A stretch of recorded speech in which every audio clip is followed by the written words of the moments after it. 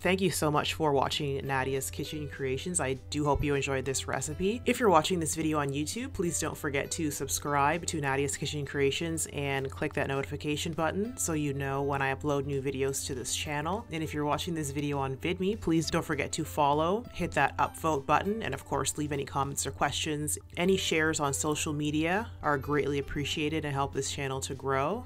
Thank you so much for watching Nadia's Kitchen Creations. Your time is very, very much appreciated. I will see you in the next one.